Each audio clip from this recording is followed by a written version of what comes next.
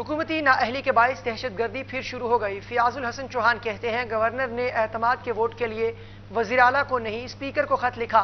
परवेज इलाही ताहाल वज़ीर अला है। डी नोटिफाई करना गैर आइनी है। इतलात हैं दहशत गर्द मियावाली तक पहुँच चुके हैं। केस है एक लाहौर हाई कोर्ट का, इसी एतमाद के वोट के हवाले से। उसमें हाई कोर्ट की रूलिंग मौजूद है कि जब भी गवर्नर एतमाद का वोट लेने के लिए कहेगा तो वो कम अज कम 10 दिन का टाइम पीरियड देगा।